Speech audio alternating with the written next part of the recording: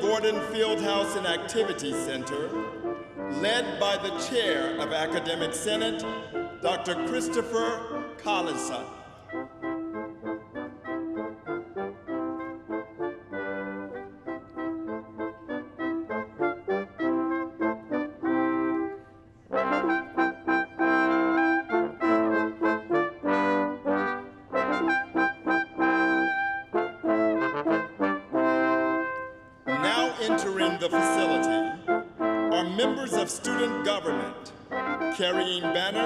Representing each of RIT's degree granting units and three of our global campuses, along with a representative of RIT's 125,000 alumni.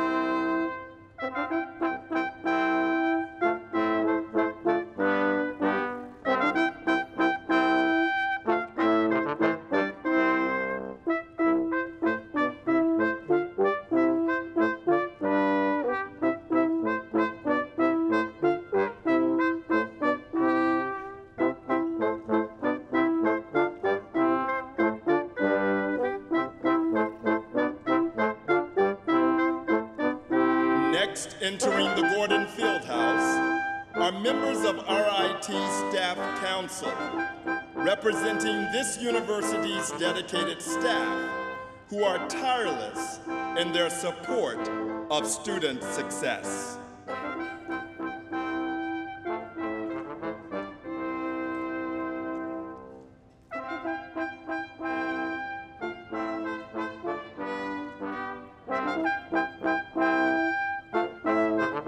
Next, entering the facility is the lifeblood of our university, RIT faculty.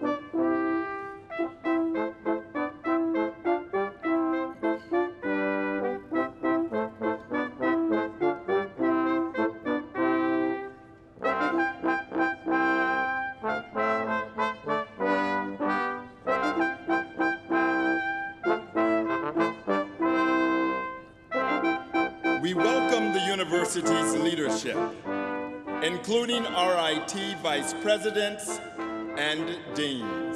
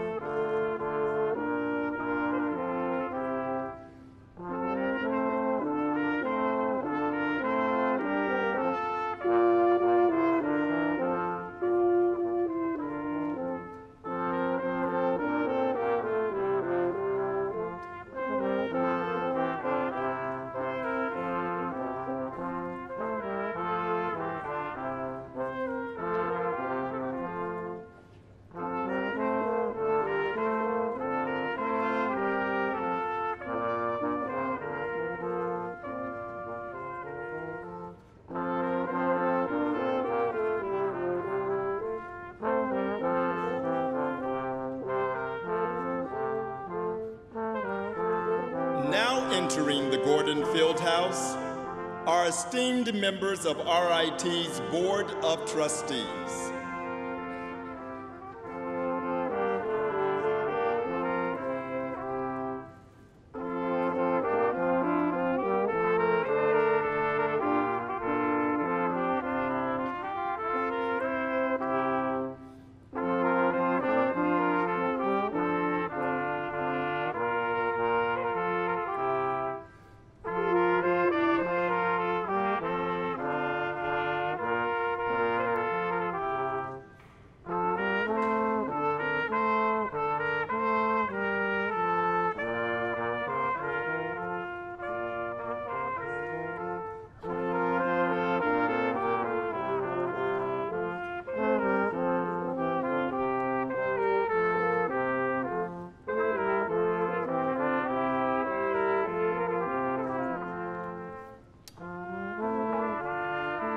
Now entering the facility are the delegates representing other universities, colleges, learned societies, and scientific and cultural institutions. They will enter the Gordon Fieldhouse and Activity Center in the order of their founding year.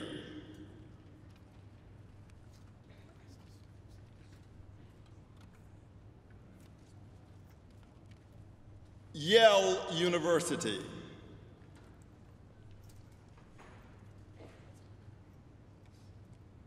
University of Pennsylvania. Princeton University. Dartmouth College. University of Pittsburgh. University of North Carolina. Hartwick College, Lycoming College, University of Michigan, Colgate University, University of Virginia, Indiana University, Hobart and William Smith Colleges, SUNY Fredonia, New York University, the College at Brockport, Alfred University, Boston University, University at Buffalo Delegate, University of Rochester, Washington University and St. Louis, Michigan State University, St. Lawrence University, St. Bonaventure University, SUNY Oswego,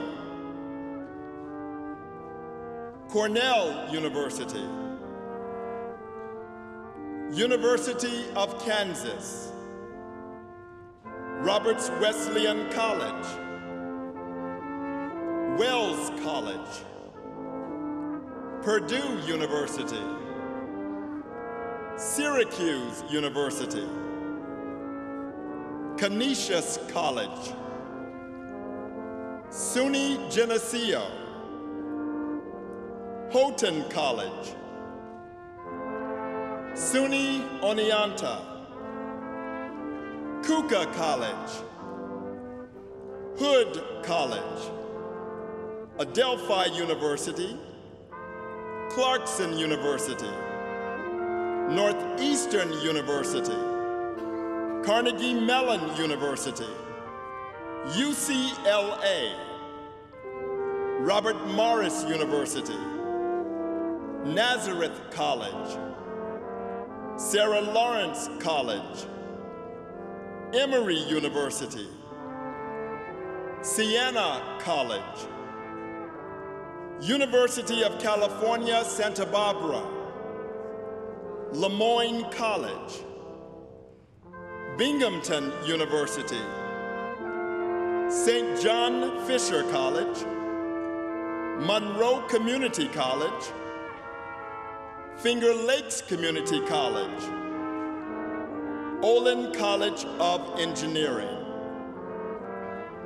And finally, entering the Gordon Fieldhouse and Activity Center are members of the Platform Party, followed by Dr. David C. Munson, Jr.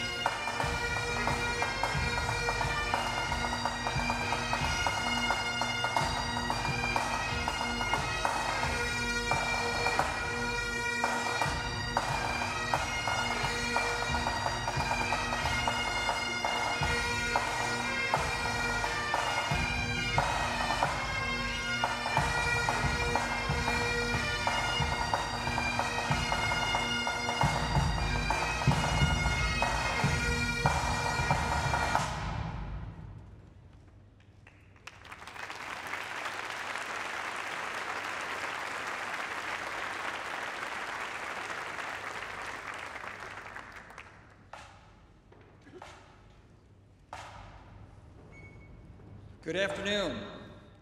I am Jeremy Haefner, Provost and Senior Vice President for Academic Affairs. It is my honor and privilege to welcome you to this afternoon to the Gordon Fieldhouse and Activity Center as we celebrate this milestone event in RIT's history, the inauguration of our 10th president, Dr. David C. Munson, Jr.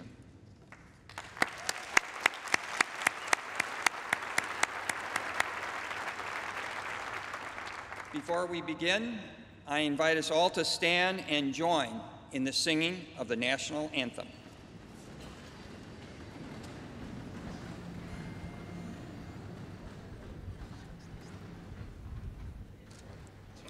Oh, say, can you see by the dawn's early light what so proudly we hailed at the twilight's last gleaming, whose broad stripes and bright stars through the perilous fight O'er the ramparts we watched were so gallantly streaming, and the rocket's red glare, the bombs bursting in air, that our flag was still there.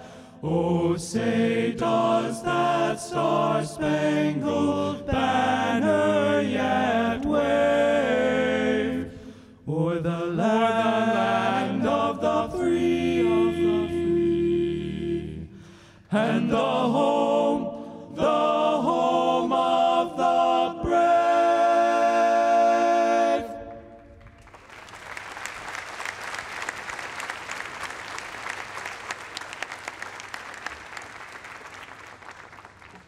seated.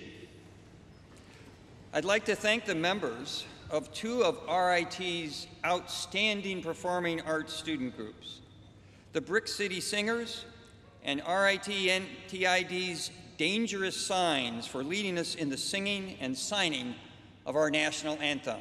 Let's give them a round of applause.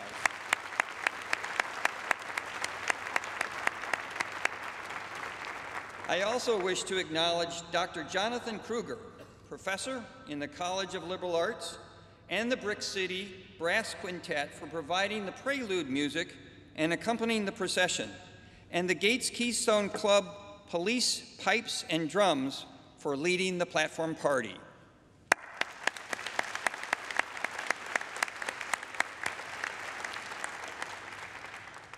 Please join me also in thanking our Chief Marshal for today's ceremony, Dr. Keith Jenkins, Interim Associate Provost and Vice President for Diversity and Inclusion and Professor in the College of Liberal Arts, and our Mace Bearer, Dr. Christopher Collison, Professor in the College of Science and Chair of the Academic Senate.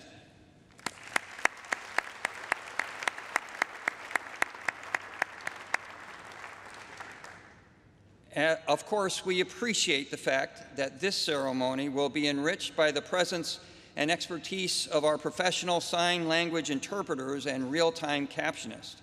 We thank them for their dedication to this important work.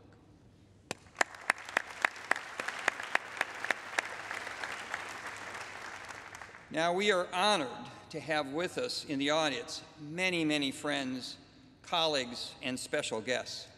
As announced during the procession, we are so pleased to welcome the delegates from guest colleges and universities, RIT students, staff, faculty, and alumni, the RIT vice presidents and deans, and of course, members of the RIT Board of Trustees. Let's give them a round of applause as well.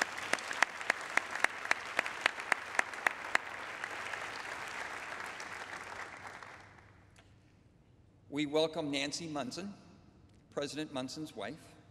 Nancy,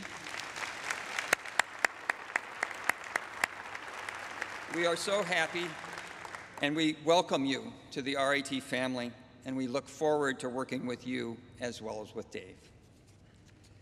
We also welcome members of Dr. Munson's family, Dr. Munson's mother, Joyce, his children and grandchildren, Ryan Munson and his son, Josh, Mark and Megan Munson and their daughter Sophia, and Jamie Munson and Paige Rindle. Thank you all for joining us.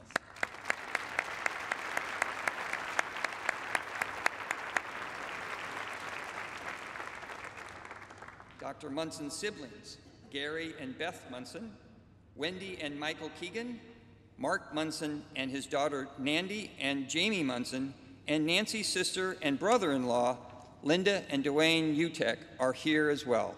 Welcome.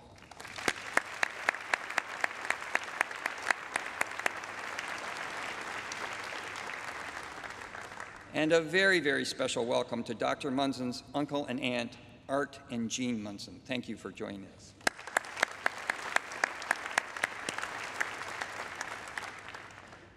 Dave is a popular guy and he has very many friends, so we give a warm welcome to the friends of Dave and Nancy Munson who are here today.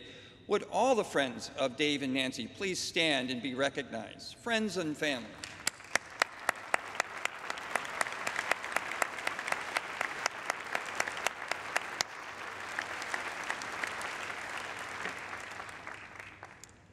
As most of you know, Dr. William Destler was RIT's president for 10 years, retiring last June. We are honored to have him join us today, along with his wife, Dr. Rebecca Johnson. Bill and Rebecca, would you please stand and be recognized?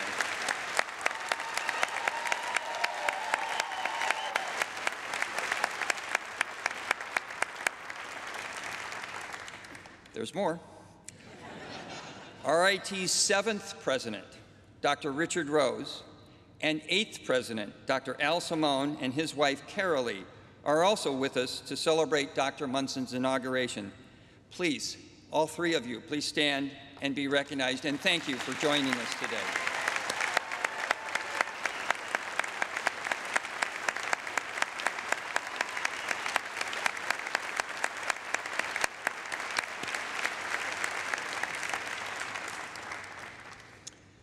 We are honored to be joined today by several of our elected and appointed government officials and their representatives who are great, great friends and supporters of RIT.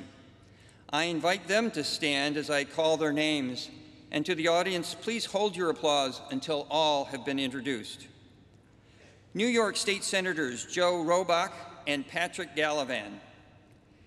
New York State Assembly members Harry Bronson, Mark John, and Mark Johns. Representing City of Rochester, Mayor Lovely Warren is Alex Udelson, Chief of Staff.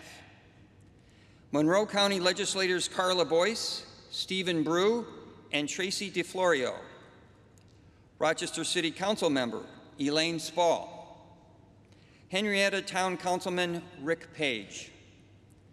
Representing U.S. Senator Chuck Schumer, Chris Zeltman. Representing U.S. Senator Kirsten Gillibrand, Sarah Clark. Representing U.S. Congressman Tom Reed, Allison Hunt. Representing Governor Andrew Cuomo, Kaylee Benedict. Representing New York State Assembly Majority Leader Joe Morelle, Elma Borsillo. Representing our Monroe County Executive, Deputy County Ex Executive Thomas Stradonk. Also, our town supervisor, Jack Moore, was here earlier, and I would like to acknowledge him as well. Let's give a, a loud, uh, very rowdy applause for all our.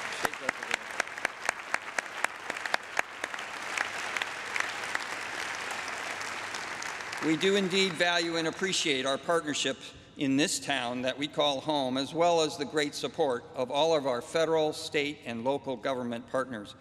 Thank you again for joining us. Now, the largest group is our alumni, now numbering ne nearly 125,000. And we are extremely, they are extremely important to us, and we are grateful for their support. So I now ask all of the alumni of RIT here today to please stand and be acknowledged. All alumni.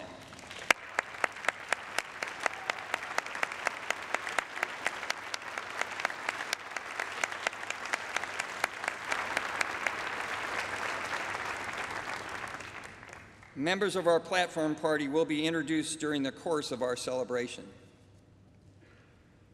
Today is a historic moment in RIT's history and as we celebrate the inauguration of our 10th president.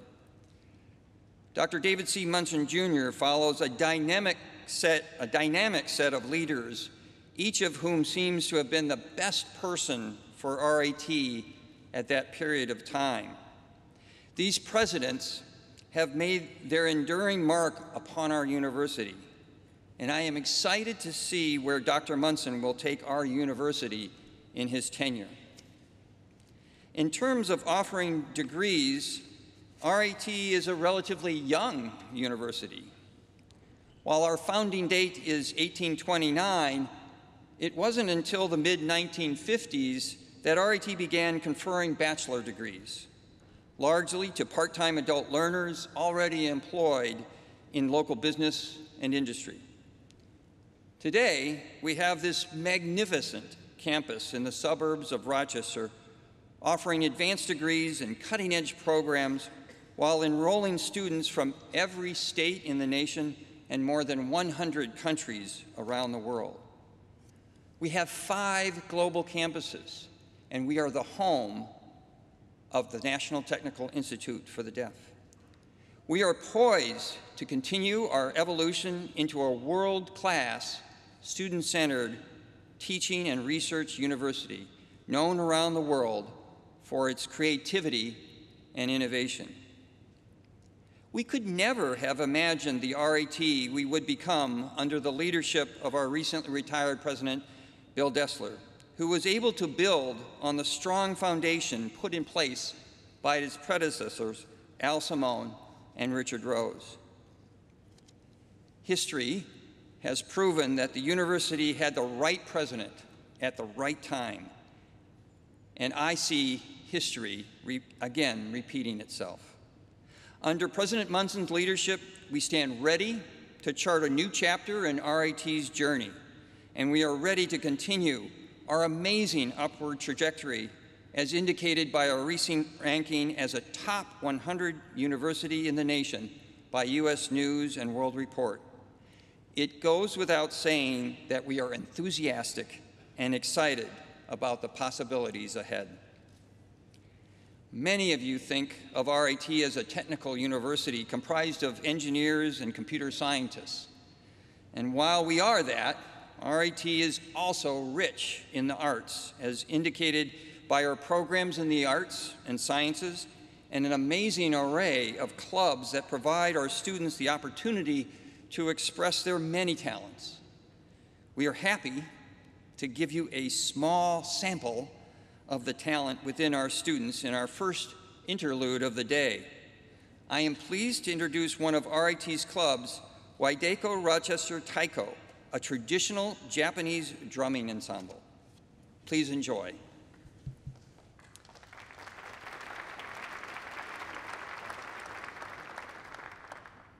Hello, all. Uh, thank you for having us here. Uh, this is a really great opportunity for our club and we all can't wait to see what Dr. Munson's going to do for our college.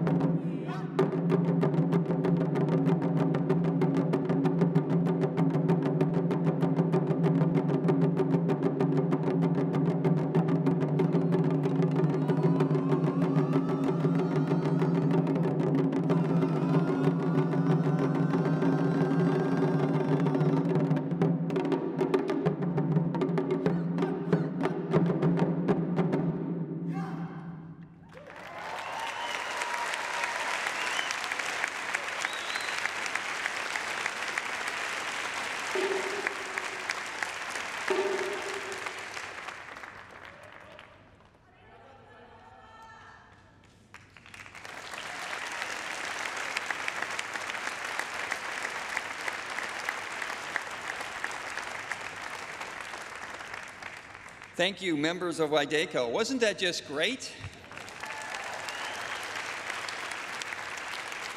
That's one of many student clubs that I wish I could join. Maybe I can get one of those drums for my office. I think that would be nice. I now have the pleasure and honor of introducing today's keynote speaker, Dr. Philip Hanlon. I knew immediately that I would like him as he is a mathematician, just as I am. He also originally hails from New York State, from Gouverneur New York, a small town between the Adirondack Mountains and the Thousand Islands of the St. Lawrence River known as the gateway to the St. Lawrence. Today, Dr. Hanlon is the president of Dartmouth College. He is a staunch supporter of undergraduate education, and even with the responsibilities of the presidency of an Ivy League university, he is a dedicated teacher scholar as he continues to teach first year calculus. He is a champion of academic excellence and has launched initiatives to build interdisciplinary strength around global challenges, expanded opportunities for experiential learning, and initiated programs to support cutting edge research and creative endeavors. Dr. Hanlon holds a Bachelor of Science degree from Dartmouth and earned his PhD from the California Institute of Technology. And prior to becoming the 18th president of Dartmouth College, Dr. Hanlon was the provost, another reason to like him, and executive vice president for academic affairs at the University of Michigan. A longtime friend and colleague of Dr. Munson's, we are thrilled to welcome Dr. Philip J. Hanlon to help us celebrate this momentous occasion and to launch Dr. Munson's presidency here at RIT. Please join me in offering a very warm Tiger welcome to Dr. Philip J. Hanlon, President of Dartmouth College.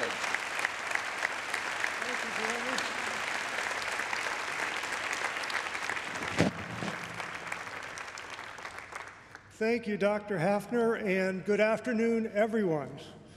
It is such an honor, such a pleasure to join you today on this truly historic and celebratory occasion the inauguration of Dave Munson as the 10th president of the Rochester Institute of Technology.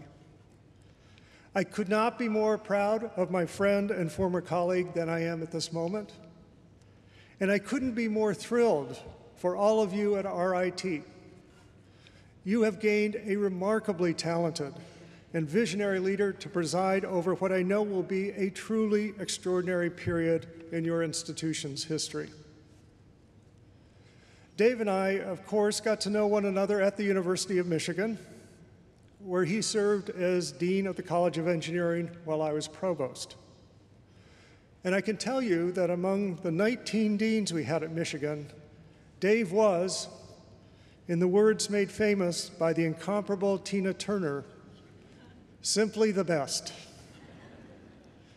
And I say this not just because engineering thrived under Dave's leadership and was consistently ranked amongst the top five in the country. Not just because Dave was universally loved and incredibly well respected by students, faculty, and alumni alike. Not just because Dave is kind and compassionate, not to mention creative and thoughtful. And not just because he happens to be a bit of a math nerd like Jeremy and me. All those things are true. But in my mind, Dave was simply the best because I could always count on him to fill me in on the progress of the student solar car team.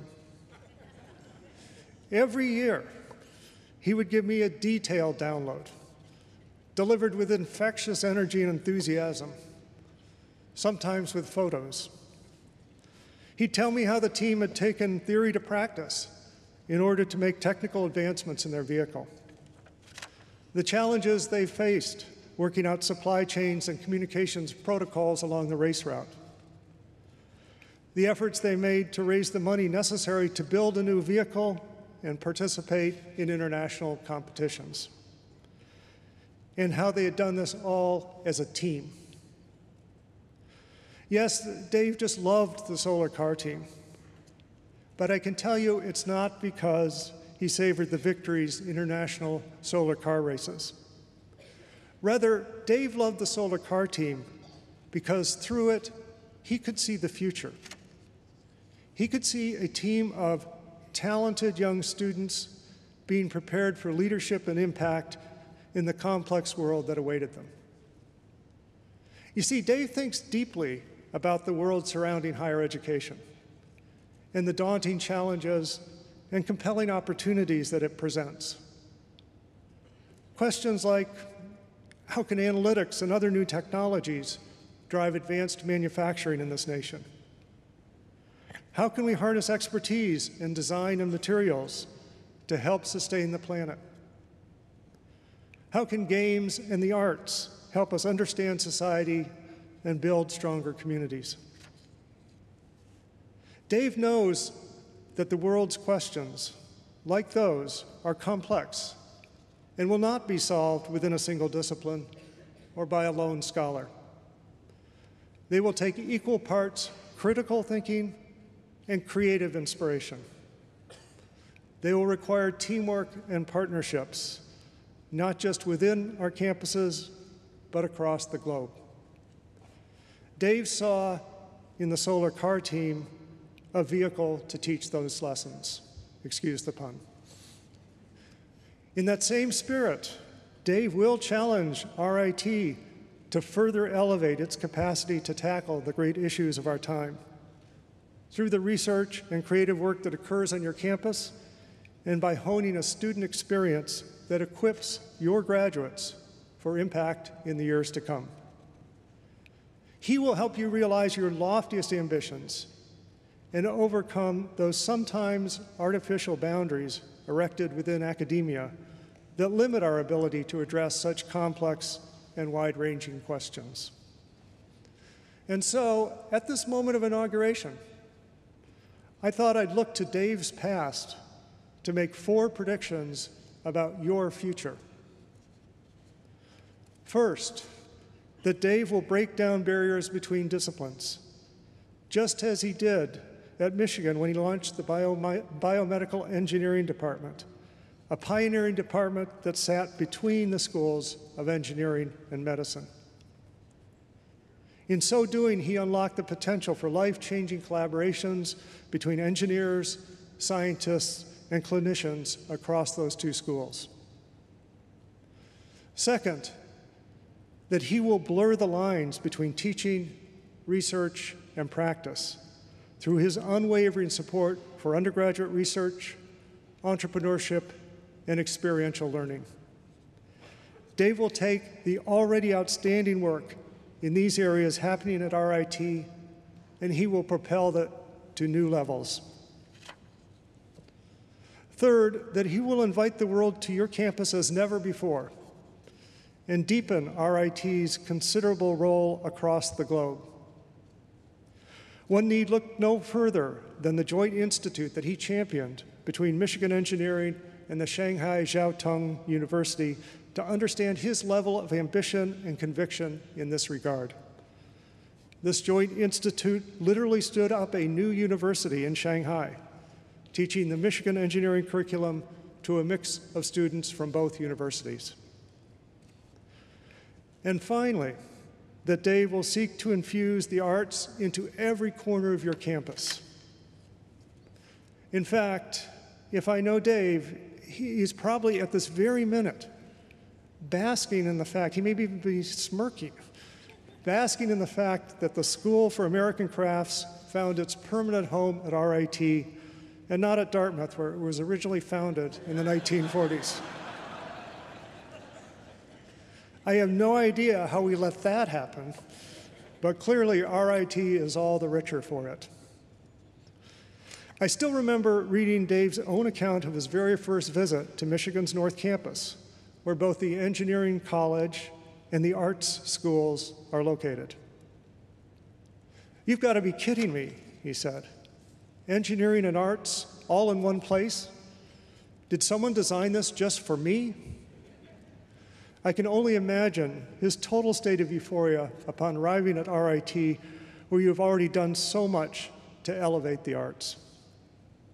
You see, Dave understands better than anyone that the arts, design, technology, engineering are kindred spirits, that these fields are at their core, creative enterprises.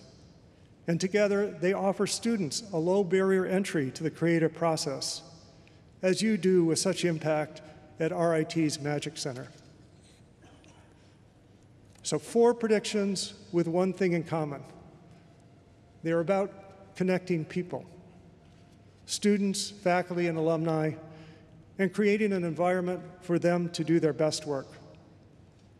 For Dave, that's what it's all about bringing people together and fueling their passions, and doing so with his signature good nature and a heavy dose of good humor.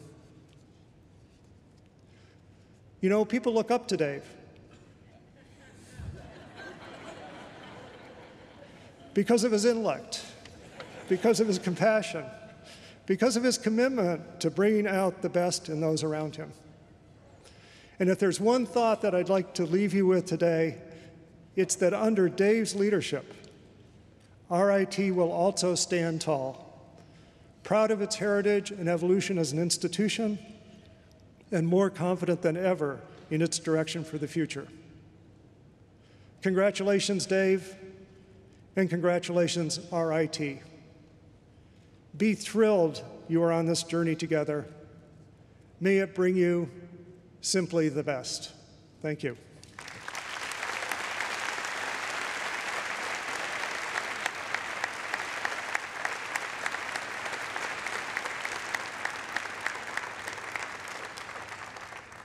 Thank you, Dr. Hanlon.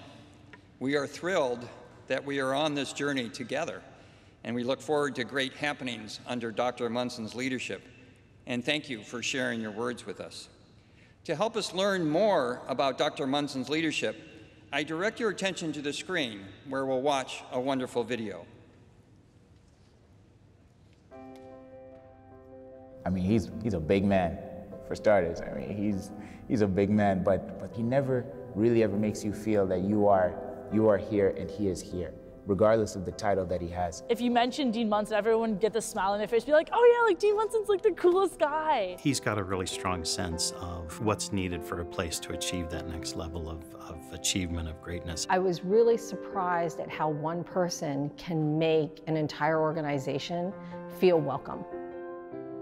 Well, Dave spent an outstanding decade as Dean of our School of Engineering, and he really took it from being a very good school to being an outstanding school. He understood where the college was at the time and where it needed to go next. So he had the vision to actually establish three different interdisciplinary programs. International experiences, entrepreneurship, and multidisciplinary design. You don't come up with that just by sitting in your office and, and reading email. You do that by getting out and learning the environment, but also being knowledgeable about what's out there. And then what he did was he empowered people to enact that vision. Building that really great team and giving them the freedom to uh, exercise and to implement that vision. He brainstorms, which means that the ideas are not just his. And it becomes a collaborative effort as opposed to something that's dictated. His vision is our vision, and so we're all rowing in the same direction accordingly. Dave is a real big picture person and I think very attracted to uh, collaborative interdisciplinary uh, enterprises on all different fronts. He really did think about the university as a whole and he thought about how the College of Engineering could play into the institution. He brought in other deans as collaborators to a degree we hadn't seen before. We really thought uh, that it would enhance not only the research but very importantly, the education. One of the reasons Dave got involved was, well, certainly his own love of the arts, but also I think he recognized a tremendous opportunity for his discipline. We like to see engineering as one of the schools of creativity at Michigan. It's next to art and design, it's next to music, theater, and dance, it's next to architecture and urban planning. That kind of integration of those units was something that when Michigan created this North Campus, that was sort of the dream, and no one had ever made it real. Dave made it real. Dave brought, along with all of his other attributes, a real sense of fun to, to our work. He takes the work very seriously, but he doesn't take himself too seriously. So there's a lot of laughter, a lot of joy, a lot of fun, but we get a lot of really good work done. Sometimes he's more formal and more official because he has to be, but he's still the same caring, compassionate person. He's a deep thinker, I must say. And, and that I think is something which I really, really, really grew to admire. He's just so completely student focused, it's crazy.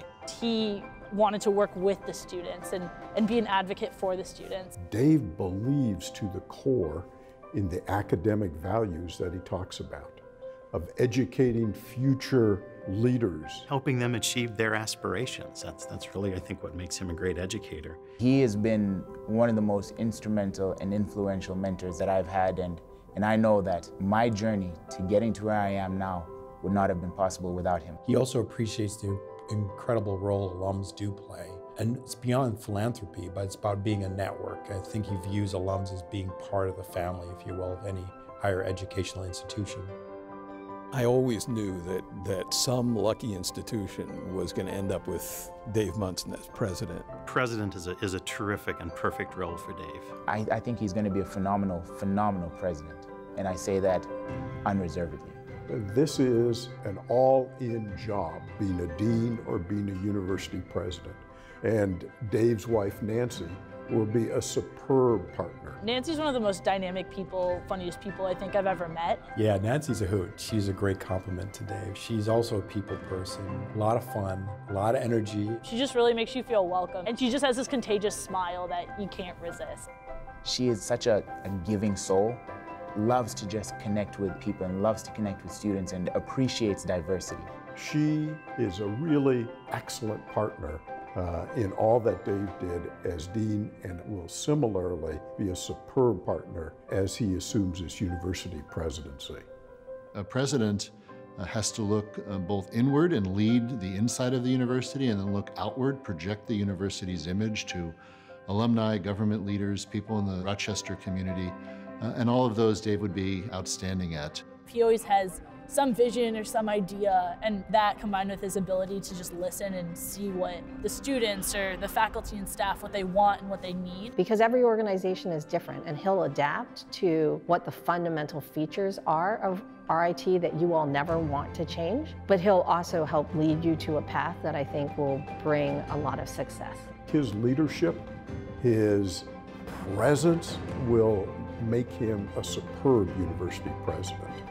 It is the coolest thing. And I say that from the perspective of for all the students, for all the faculty, for all the staff who are at RIT, they are, they are just going to be blown away by his, his charisma, his style, his, his size, his ideas, and his ability to transform his ideas into reality with people around him.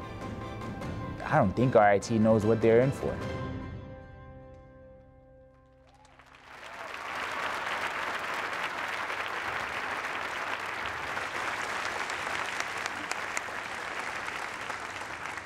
What a great, great story. Well, now to the reason why we are all here today. It is my pleasure to call forward Christine Whitman, Chair of the RIT Board of Trustees, who will lead the formal installation of Dr. Munson as RIT's 10th president. Ms. Whitman.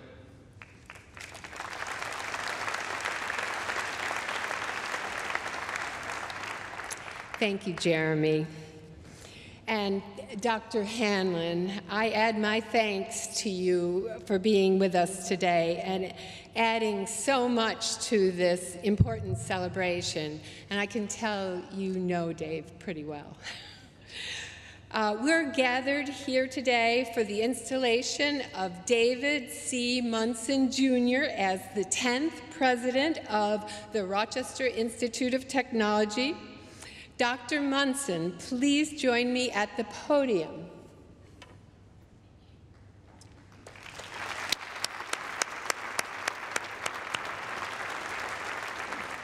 And would the vice chairs of the RIT Board of Trustees, Mr. Jeffrey Harris, Ms. Susan Holliday, and Mr. Donald Truesdale please come to the podium.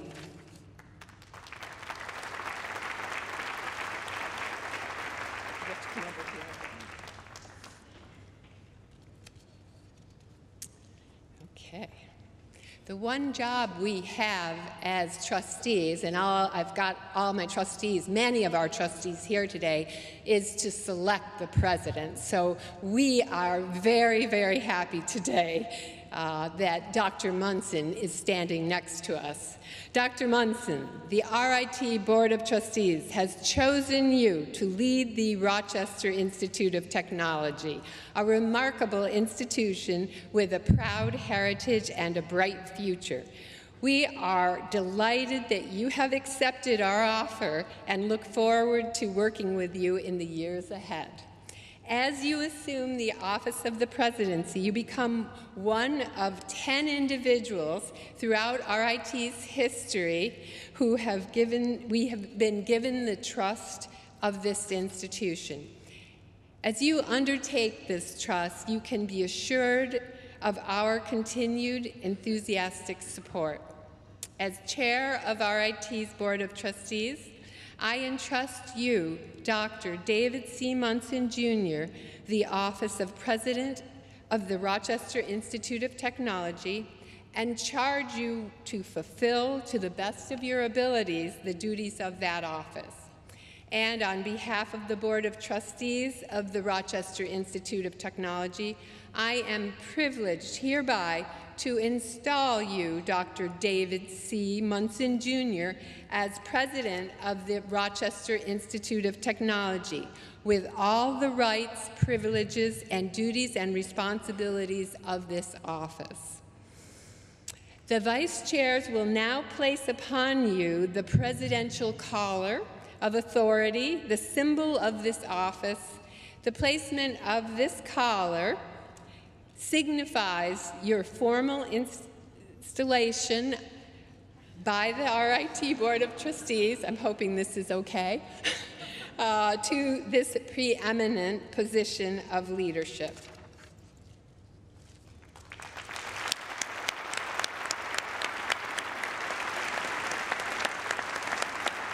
All right. So, on behalf of all those present and so many who've sent their regards, I wish you a long and successful career in this special office which you now hold. Congratulations.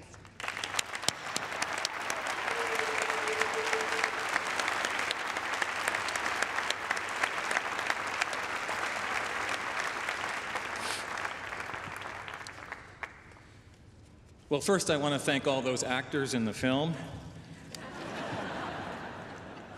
That was a little overwhelming. Thank you, Christine. Thank you, trustees Holliday, Harris, and Truesdale.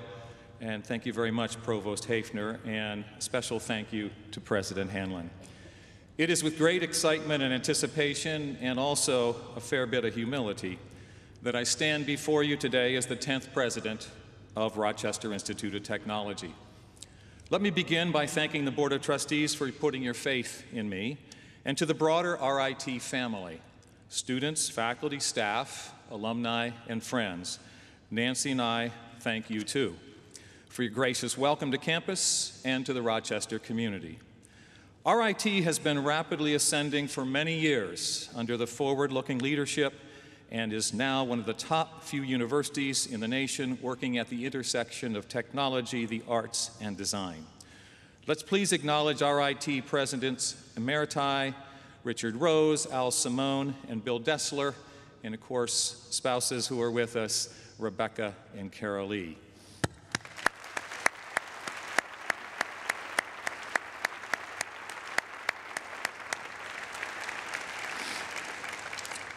And to the former presidents, gentlemen, you have left an incredible legacy. I am grateful for the ideals you espoused, the momentum you generated, and the leadership you displayed in transforming RIT into a global university. I received my education from University of Delaware and Princeton University, where I benefited from accomplished teachers and researchers. Most important of all was Bede Liu, my PhD advisor, who is with us today. Thanks, Bede.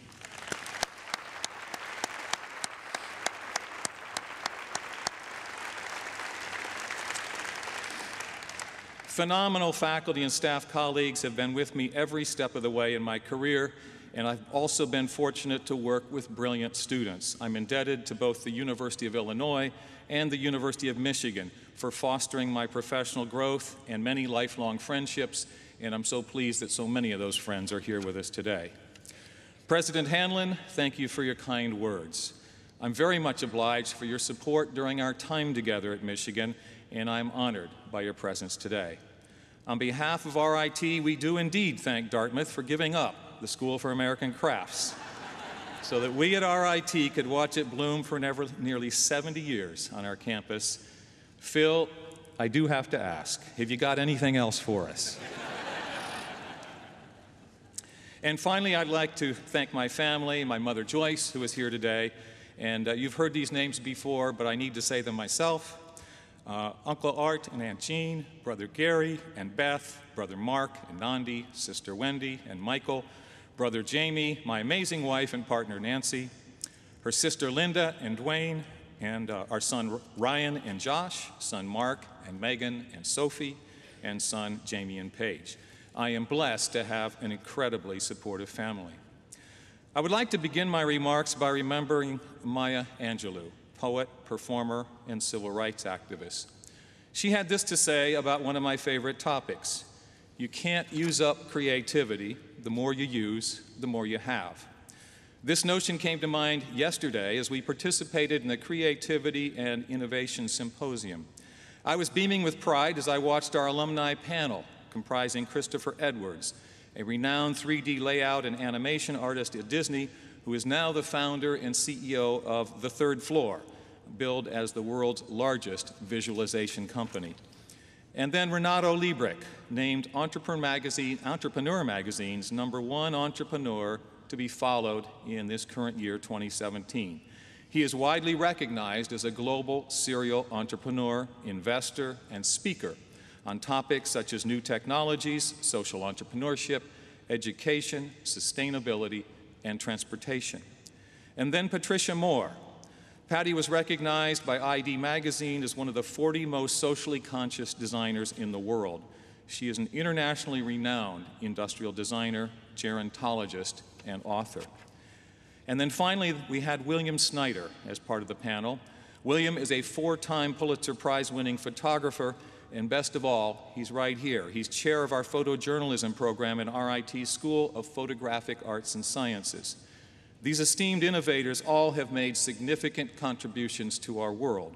Let's offer a round of applause to thank them for sharing their insights on the creative process.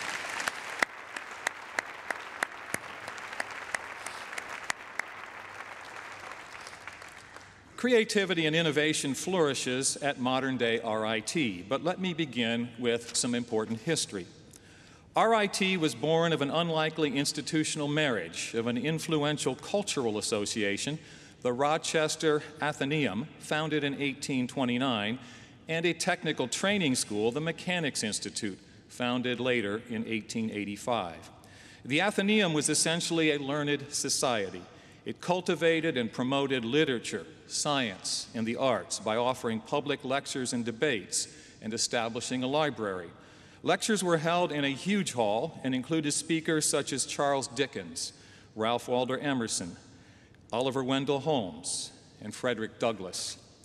The Mechanics Institute, similar to others around the nation and the world, was a school established to provide technical training for workers in industry. Applied fine arts were soon added to the Mechanics Institute's curriculum, and then in 1891, the Athenaeum and Mechanics Institute merged to become what would eventually become RIT.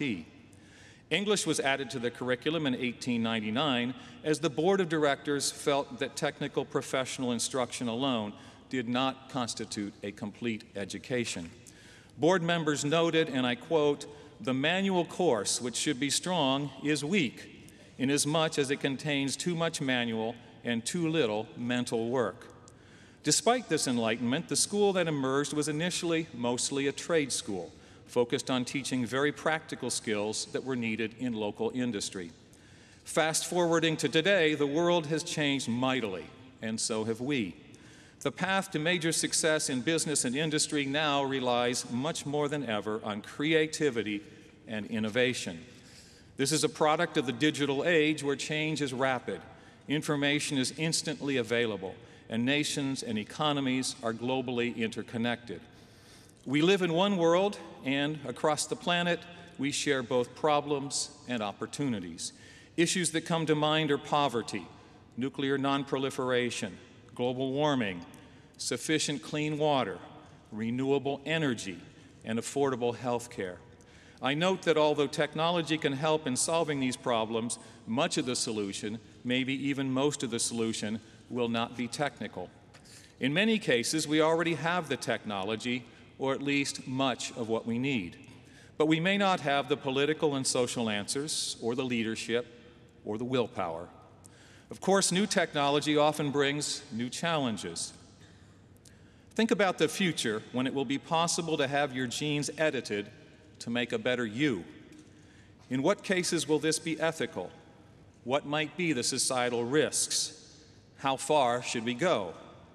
And with progress in artificial intelligence and robotics, how long will it be before we humans are routinely interacting with machines in very complex tasks? Will these machines be partners? Will they be superior to us? Can they be programmed to have a conscience? How much should we let these machines do? Will we humans always be in control? What kind of education should our students receive in order to help answer some of these questions and thereby contribute to guiding the future of society? Clearly, we need strengths in science and technology, but we must be more than a modern day mechanics institute. In my opinion, the world needs us to be more like the Athenaeum. As our predecessors rightly determined in the 19th century, an education must go beyond the purely, purely practical. An education that is too practical can be self limiting.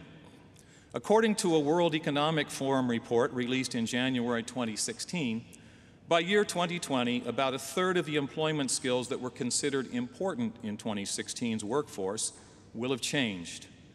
And I note that the Forum's report does not call for enhanced skills in specialized areas such as computer programming or design of automobile engines. In fact, it does not focus on most topics that we currently teach in STEM disciplines at universities throughout the world. Perhaps that's okay because given the fast changing nature of technology, such material often has an expiration date. Rather, the Forum's report says the top three skills for 2020 are number one, complex problem solving, number two, critical thinking, and number three, creativity. The Forum also highlights collaboration, emotional intelligence, judgment, service orientation, and cognitive flexibility and these proficiencies do not have expiration dates. So, how do we prepare generations X, Y, and Z for jobs that don't yet exist and to tackle challenges that have yet to be identified? Creativity is the skill that is climbing up the chart the fastest. With the rush of new technologies and new products and services, workers must become more creative if they want to be in the driver's seat. The Forum recommends and RIT endorses that we must continue to rethink our educational systems so that we are building a broad, multidisciplinary skill set where creativity is exercised at every turn. What does this mean for a student here at RIT? I believe that our students should acquire many of the same high level skills independent of the discipline they study, whether that be a STEM discipline, business, health sciences, or the liberal arts. As a starting point, each student should choose a discipline for which they have a passion. And then, no matter which discipline is selected, the student should learn about and gain experience in critical thinking, problem solving, creativity, innovation, collaboration, communication, and other high level skills highlighted by organizations such as the WEF. This calls for experiential learning writ large including co op and summer jobs, international experiences, participation on project design teams, entrepreneurship, research, and participation in student groups and societies. And let's double down on making our campus a thriving ecosystem to stimulate creativity and innovation, which is the translation of an idea into a product, a service, or process that has economic or social value. In so doing, let's note that innovation and making can occur in every field, whether it be writing a poem or short story, choreographing a dance, composing a piece of music, advancing a new scientific hypothesis, developing a government policy, designing a new piece of technology, creating a social movement, or yes, launching a startup company. Every student can be involved in creating things that never before existed and then putting those concepts into motion in an effort to improve the world. And while we're at it, let's embrace risk takers, just as the late Steve Jobs did when he stated, and I quote, Here's to the crazy ones, the misfits, the rebels, the troublemakers, the round pegs in the square holes, the ones who see things differently. They push the human race forward. The ones who are crazy enough to think they can change the world are the ones who do. I am optimistic that we already are far down the right path. After all, what other university hosts a creativity festival that draws 30,000 attendees annually? And who else has a college like our National Technical Institute for the Deaf, offering cutting edge experiences in the arts alongside STEM degree programs, serving more than 1,200 students who are deaf or hard of hearing? And think about some of RIT's first of a kind academic programs and others that cross disciplinary boundaries. We're accustomed to trying new things here on our campus. It's part of our DNA. In the future, we will be placing increased emphasis on research and discovery, scholarly work, and artistic expression. But as we become more research oriented, our students will be at the forefront. We will work together in our aspiration for RIT to become the most student centered research university in the nation while we train the future leaders of society. Along with preparation for a career, our students will develop a broad skill set in understanding of the larger world and a passion for making a difference. We can take our lead from President Woodrow Wilson, who in 1913 stated, You are not here merely to make a living. You are here in order to enable the world to live more amply, with greater vision, with a finer spirit of hope and achievement. You are here to enrich the world. Here is another reason for optimism. In a recent survey titled Making Way for Innovation, conducted by the Chronicle of Higher Education, university leaders noted that they are investing in new technologies and are committed to guiding their institutions through transformative times. And what is the bright spot among the survey's key findings that should energize all of us? Students are now seen as the prime drivers of innovation. This is in contrast with past surveys, where the leading, agents of change on campus had been university presidents, politicians, faculty, and business leaders. Maybe we should follow our students. Of course, creativity and innovation are both best used for noble purposes. I recently asked an RIT trustee why she joined the Board of Trustees. This particular trustee, who is not an alumna of the university, said, I am so passionate about RIT because of the essential goodness of the people and the place. That really struck a chord with me. So, what is goodness? Goodness is our National Technical Institute for the Deaf that not only provides educational programs, but also collaborates with researchers throughout the campus in the development of assistive and accessibility technologies for people with physical challenges. Goodness is serving students from lower socioeconomic status and watching them thrive as they break through that generational poverty cycle and lift their families.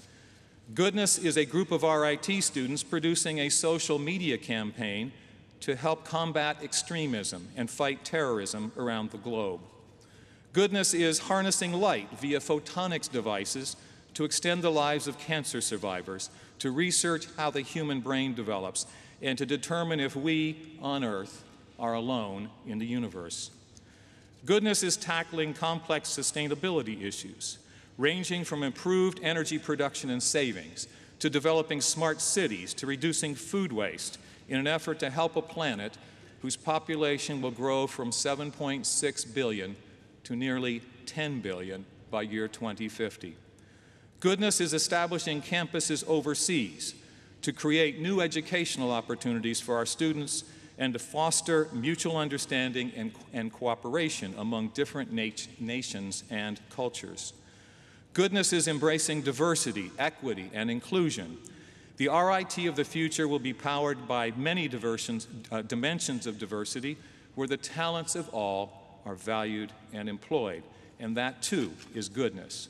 Wouldn't Susan B. Anthony and Frederick Douglass, longtime Rochesterians, be proud of where we are headed? Let me conclude my remarks by emphasizing that our university is truly unique in higher education with its core in technology, the arts, and design, and other important disciplines radiating out from that core. Maintaining our steep upward trajectory will be made possible by further leveraging this model and working across disciplines to help solve the most pressing issues of our time and by offering an education that is future-proof.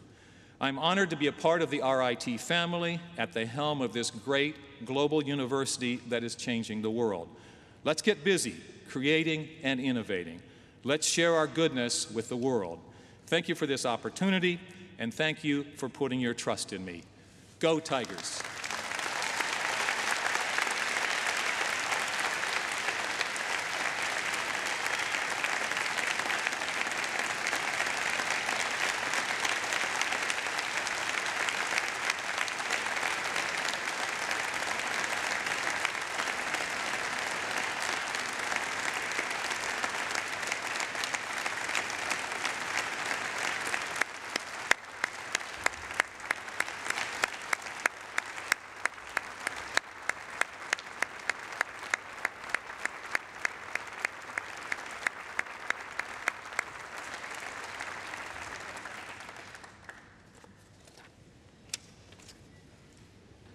Thank you, President Munson, for those inspiring words.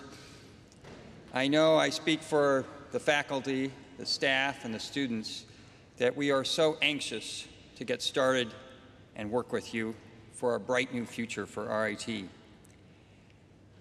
The chair beside me has a unique position in RIT's cauldron of traditions. It is the inaugural chair and Dr. Hanlon, you'll be interested to know, it was designed by RIT faculty, built by RIT faculty, who reside in the School of American Crafts in the College of Imaging Arts and Sciences. And it is called the inaugural chair.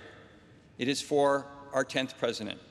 President Munson, would you please take your seat in the inaugural chair for the remainder of this celebration?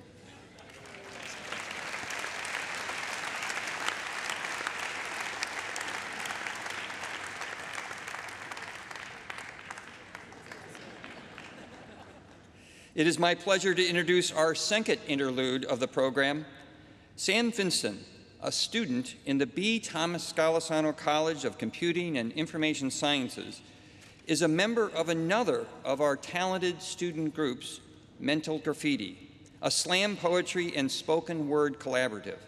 Sam will now share a poem he wrote entitled For a Walk. Sam?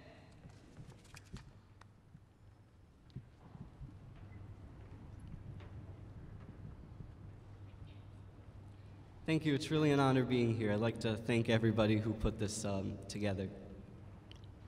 This is the poem I wrote. As you've heard, it's called For a Walk, and I'll get started. Skip me like a stone. I want to bounce up and down as I soar away from home. I want to weave in and out of the familiar. I want to splash and sink down in the farthest reaches of the waters of Mindowaskin Park. Tell me that tomorrow is just sleep, a shower, and a shave away. I want to wake up with fresh feet, ready for a new trip down an unfamiliar street and discover familiar landmarks. I want to wonder who will be in the next car that honks as it passes me by.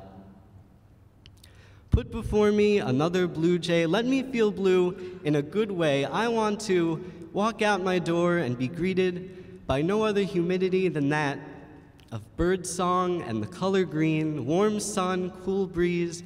I want to need no more and want no more than my cap and what's in my bag. Make the trip last forever and the destination unclear. I can't get lost anymore and I only get tired on the way back, so I might as well keep trucking. I want to keep trucking until just maybe I find someone as lost as I am and only then will we retrace our steps and find our way home together. Thank you.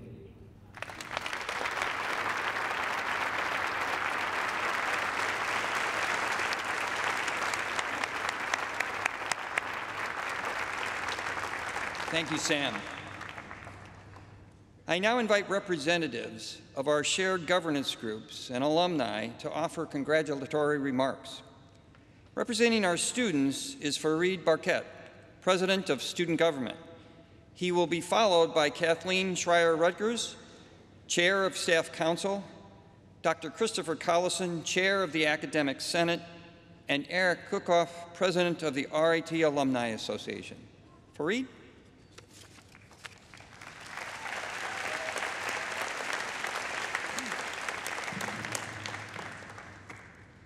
Hello, everyone. Dr. Munson, on behalf of the RIT students, I want to say we are happy to have you as our president. We look forward to continuing the open dialogue we've had since you began your presidency and working on the issues important to our students. And as Dr. Munson always ends, go Tigers.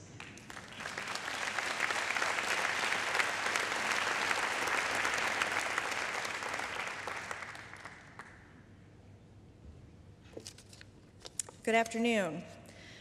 Dr. Munson, on behalf of Staff Council and RIT staff, we look forward to proactively and collaboratively working with you to make your vision a reality.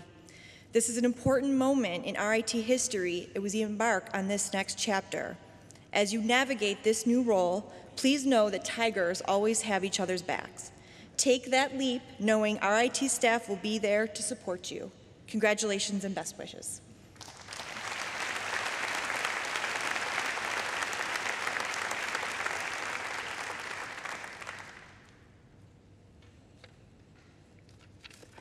Good afternoon. Dr. Munson, we look forward to partnering with you to further your vision of RIT becoming the university where technology, arts, and design converge to improve and shape our communities, the nation, and the world, and to continue to move our proud university forward. Dr. Munson, on behalf of the faculty, we, we enthusiastically welcome you to RIT. Congratulations.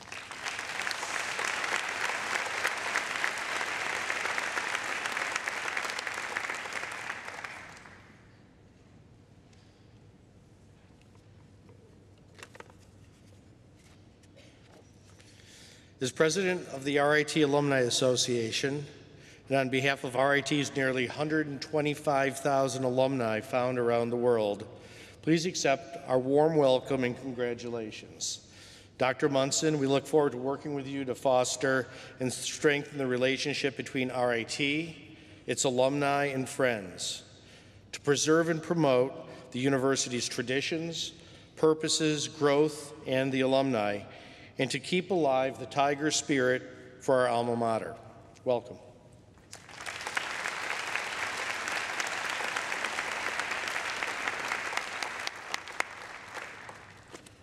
Farid, Kathleen, Chris, and Eric, thank you.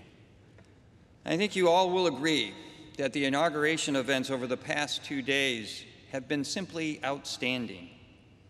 As you might imagine, they didn't just happen. Hundreds of faculty, staff, students, alumni, and administrators have worked tirelessly to make this inaugural celebration a great, great success. On behalf of our, Dr. Munson, and the Board of Trustees and all of us, please accept our thanks and gratitude. Members of the audience, please join me in a hearty expression of our appreciation for all those who made the inaugural celebration a wonderful event.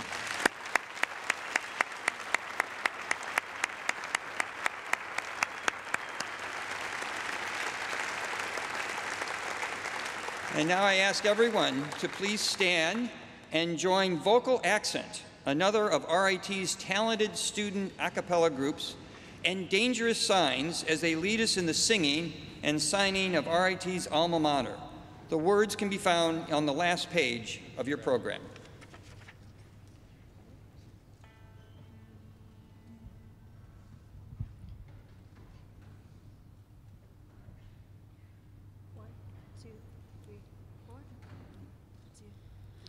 Hail RIT, together stand, creating good with mind and hand, inspired to learn till life is done. As teachers,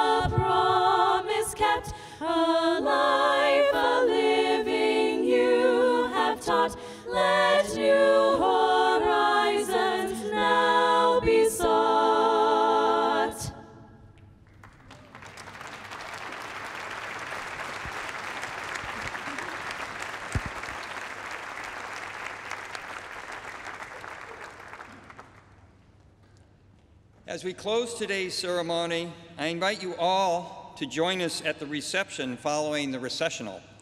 The reception area is immediately behind the stage, and staff is on hand to direct you. We welcome Professor Al Biles from the B. Thomas Golisano College of Computing and Information Sciences, who will perform with GenJam, his genetic algorithm that learns to improvise jazz, and the software Sidemen in his virtual quintet. I promise you will not be disappointed. Our recessional will be accompanied by the Gates Keystone Club Police Pipes and Drums and the Brick City Brass Quintet, and led by our mace bearer. The platform party will be followed by the visiting college dignitaries and the RIT procession. I ask that you please remain seated until the recessional has ended. And thank you very much for joining us for today's ceremony.